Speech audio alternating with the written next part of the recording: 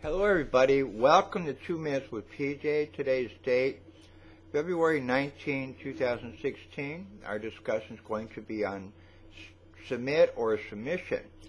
Uh, there's Bible verses 16 times in 15 verses. Of course, I'm not going to give you all those, but I'm going to give you three that I selected.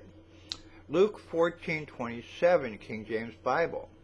Whoever whosoever does not bear his cross and come after me cannot be my disciple. 1 Corinthians 11:3, uh, the Living Bible. But there is no matter I want to remind you about.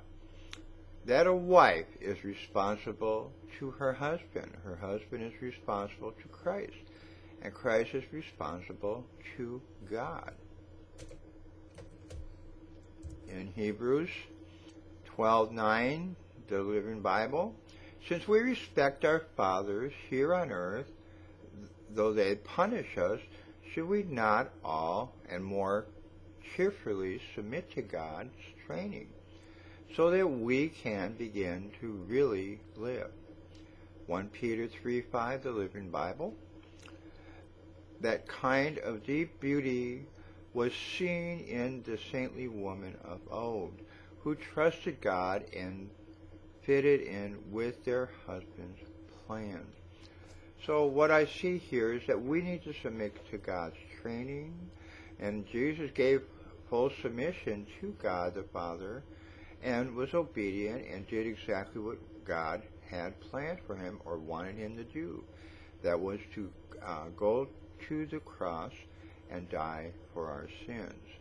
Jesus wants those who follow him to submit to the cross. In other words, to submit to the path.